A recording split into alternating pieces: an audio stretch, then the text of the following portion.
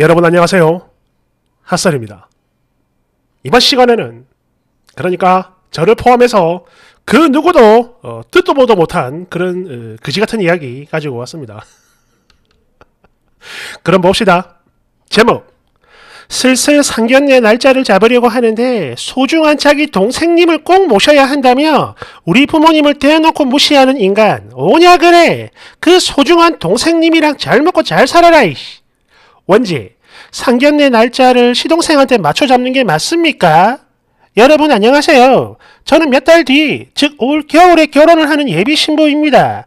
다름이 아니고 이제 슬슬 상견례 날짜를 잡아야 해서 날짜를 조율을 하고 있던 중이었는데요.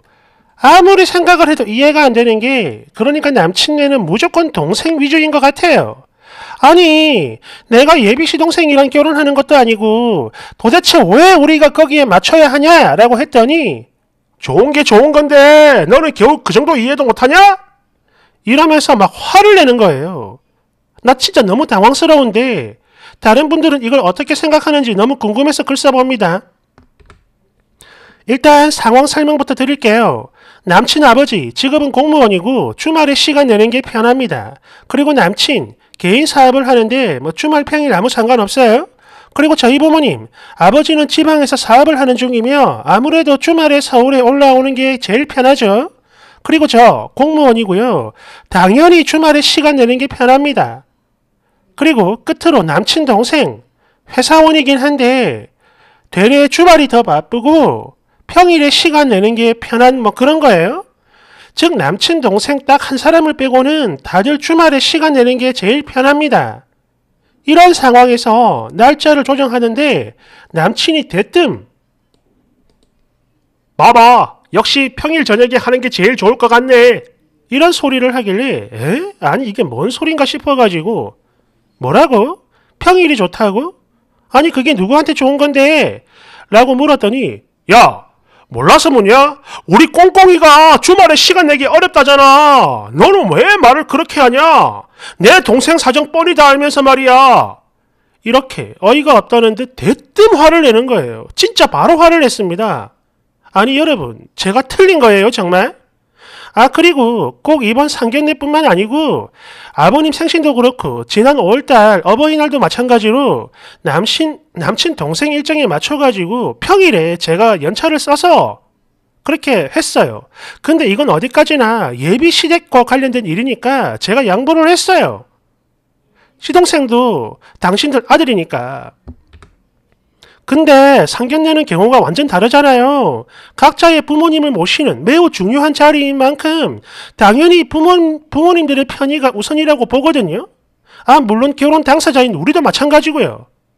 그래서 제가 서두에 쓴 것처럼 아니 예비 시동생이 결혼 당사자가 아닌데 도대체 왜 우리 모두가 그걸 다 맞춰줘야 하냐? 라고 했다가 좋은 게 좋은 건데 너 진짜 속 좁다. 예민해. 그지 같아. 왜 말을 그렇게 하는 거야? 어쩌고 저쩌고 막 화를 내면서 소리를 지르더라고. 그래서 대판 싸웠죠. 저도 기분이 단단히 상한 상태고 이 부분에 대해서 다시 한번 정확히 짚고 넘어가고 싶어요. 그러니까 여러분들의 판단이 필요합니다. 지금 이 그지 같은 상황 이해를 할 수 없는 제가 옳은 건지 아니면 진짜 남친 말대로 별것도 아닌데 속이 좁아가지고 양보를 안 하는 건지 솔직히 말씀해 주세요. 지금 이거 누가 옳은 겁니까? 뒤에 후기 있습니다. 2부 아니니까 걱정하지 마시고 음. 댓글 1번 뭐야 혹시 네 남친 동생 꼬봉이랍니까?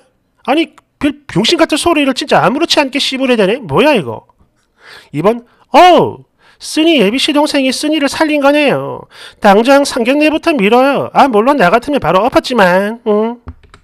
내 댓글 말하는 거 보니까 쓰니도 파혼하겠다 말만 하고 그쪽에서 에휴 알았다 주말로 하자 이래가지고 주말로 날짜를 잡고 안 와도 되는 시동생 억지로 참석해가지고 아이씨 바빠 죽겠는데 날짜를 이따위로 잡았네? 이런 얼굴로 분위기 완전 개박살 내고 어디 그뿐인가 나중에도 이 일로 두고두고 싸우면서 남편 쪽에서는 야 내가 니들 의견에 맞춰줬는데 도대체 뭐가 불만이야? 이러면서 적반하장 할 거라는 거 안 봐도 유튜브고 핫소리야 3번 이 대화에서 진짜 중요한 팩트는 말이죠. 동생에게 맞춰주지 않아 화를 내는 남친이 아니고요. 예비 장인과 장모님, 또 당사자 예비 신부를 대놓고 무시하는 바로 쓰니 남친 이게 팩트고 문제입니다. 이 결혼 내 장담하는데 성사되잖아요. 후에 막 심한 일 엄청나게 많을 겁니다. 이런 중대사는 당사자들 그리고 어른들 시간부터 먼저 생각을 하고 조율하는 게 당연한 건데 완전히 미쳤군요. 아니 이 결혼 꼭 해야겠어요? 내 댓글 아니 동생한테 무슨 약점이라도 잡혀서 사는 건가? 빚쟁이야? 되게 이상한 집구석이네. 진짜 뭘까? 달달달달달. 2번. 보니까 남친 동생이 그 집안을 먹여 살리는 실질적 1인자인 것 같네요. 살짝 물어봐요. 동생은 쓰니가 마음에 든대요? 4번. 상견례에서 가장 중요한 사람은 바로 결혼 당사자들 그리고 양가 부모님입니다. 그런 만큼 예비 시동생은 와도 그만이고 안 와도 그만인 건데 고작 그런 시동생 하나 때문에 모든 사람들이 시간을 맞춰야 된다. 아니 도대체 일단 그지 같은 상놈 집안이 어디 있답니까? 만약 남자 부모님도 남자와 같은 의견이라면 그냥 뒤도 돌아보지 말고 바로 유턴하세요. 내 부모를 무시하는 집이랑 연맺으면 너도 공범입니다. 알겠어요? 내 댓글 형이라는 놈이 지 동생한테 오지게 처맞고 사나 보네 뭐 깔깔깔깔 자기 예비 장인어른 장모님보다 더 챙기다니 진짜 미쳤구만.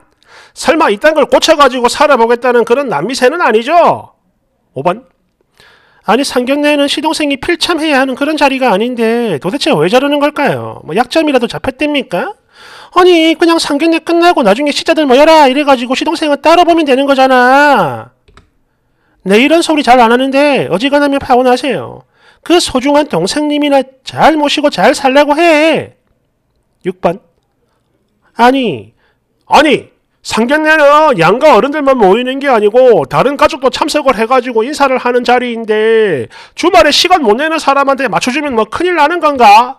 평일에 시간 낼 수 있는 사람이 양보하면 되는 거 아니냐고. 아니 바빠가지고 안 되는 사람 탓하는 거 진짜 웃긴다 당신들. 겨우 이런 것도 양보를 못해가지고 싸우는 거 보니까 쓰니 세상 참 편하게 사네요. 의견을 내려면 생각을 좀 하고 해. 내 댓글. 너 뭐냐? 남친이냐? 아니면 시동생님이세요? 아니, 안 와도 그만인 놈 하나 때문에 나머지 모두가 고생을 하라고. 야, 너 남친이지. 그렇지. 딱 걸렸어. 7번. 지금 쓴이네 부모님이 지 동생보다 미치라는 건데 좋은 게 좋은 거라고? 아니 이게 왜 튀어나오는 거야 이런 말이? 쓴이 집이 엄청 딸려가지고 뭐 취집이라도 하는 겁니까? 어디 감히 미쳐가지고 8번 이야 진짜 살다 살다 상견례를 시동생 스케줄에 맞추는 이런 개 그지 같은 경우는 정말 처음 봅니다. 님 부모님을 대놓고 무시하는 집구석이랑 인연 맺을 거예요? 이러다 나중에 아이 낳으면 더 많은 그지 같은 일이 생길 텐데 그거 다 감당 가능하겠냐 이거야. 얼른 정신 차려요. 물어보지 말고 가라고. 9번. 아니 도대체 뭐가 좋은 게 좋다는 거요? 이게 누구한테 좋은 건데? 진짜 미친놈인가? 10번.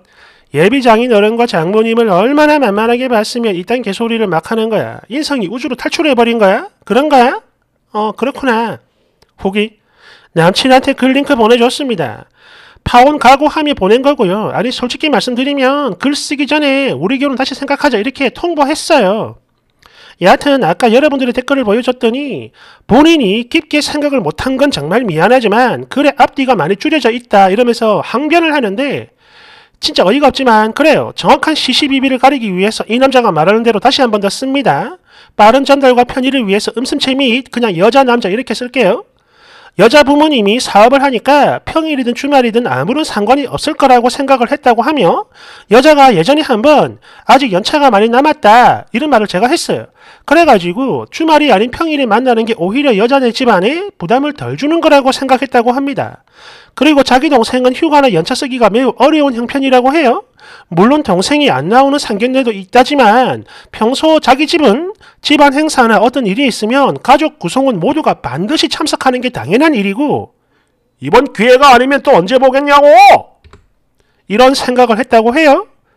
아니 나 이해가 안 되는 게 상견례 때 얼굴 못 보면 뭐 영원히 못 보는 겁니까? 그리고 제 입장이죠. 저희 아버지가 스케줄 조정을 할 수 있다곤 하나 평일 하루 이 하루 동안 지방과 서울을 왔다 갔다 하기엔 당신 연세도 그렇고 체력적으로 상당히 부담이 되는 일이에요. 그렇다고 스케줄을 이틀 일정으로 잡으면 당신 일에도 많은 지장이 있으니까 그런 생각이었다면 미리 상황 설명을 하고 양해를 구하는 게 맞지. 다짜고짜 화를 내는 건 절대로 납득할 수가 없다. 그리고 그냥 단순하게 생각하고 계산을 해도 마찬가지인 게네 명이 평일에 연차를 쓰고 무리를 하는 것보다 그냥 한 명이 연차를 쓰거나 그게 아니면 그냥 다음에 나를 따로 잡아 가지고 보는 게 옳은 거다.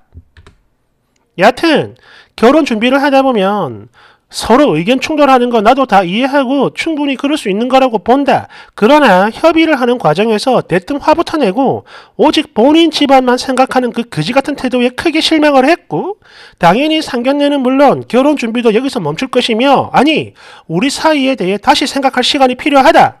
이렇게 말을 했더니 아니 지금 이게 결혼에 대해 다시 생각할 일이야 이게?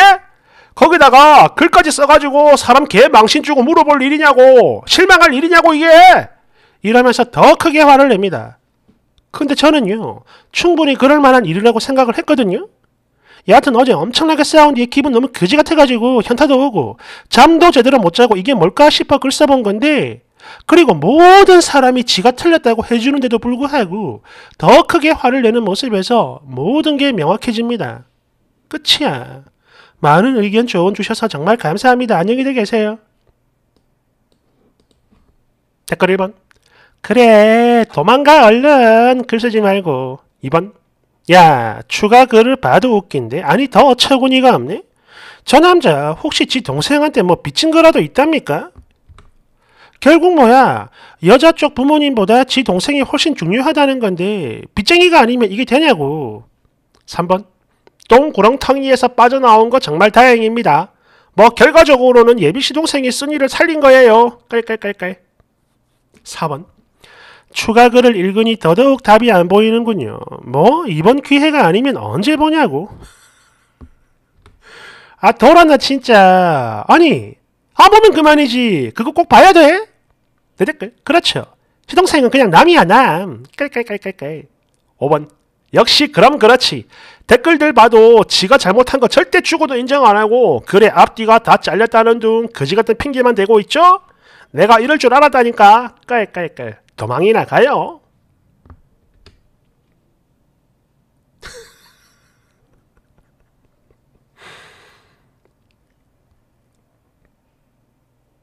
뭐 그런 건 있습니다. 예를 들어서 뭐 동생이나 뭐 위로 누나 형이 있는데 뭐 양가 모두 마찬가지로 음.